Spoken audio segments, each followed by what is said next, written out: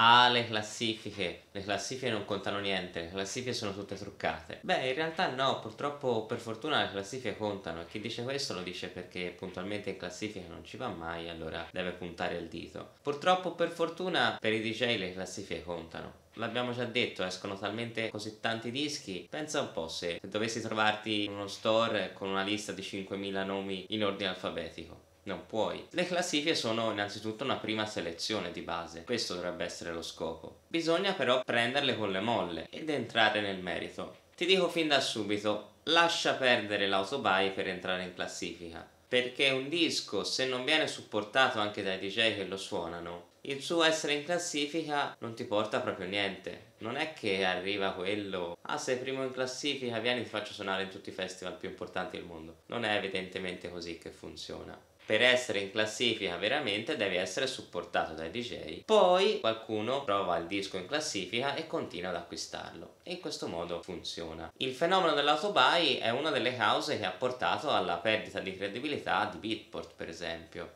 e per dire Tracksource adesso ha una reputazione migliore anche perché fa una maggiore selezione all'ingresso quindi diciamo non viene pubblicato di tutto di più anche della roba piuttosto scadente quindi alcune etichette adesso sono più predisposte a concentrarsi su track source proprio per questo aspetto della credibilità. E in effetti quando vai su track source trovi della roba interessante. Purtroppo però se fai EDM non ti conviene puntare su track source perché è molto più caratterizzata per la musica house. Anzi di EDM non c'è praticamente niente e quindi diventa difficile. Se vuoi entrare in classifica c'è bisogno di una buona promozione, questo è evidente e ne parleremo anche meglio nel dettaglio. È difficile che la cosa possa partire spontaneamente nel contesto in cui siamo abituati, quindi impostare la propria promozione in base allo store scelto è un modo per poter riuscire a farsi strada e questo vale anche per le etichette che adesso devono cercare di farsi largo con una promozione, con il supporto dei DJ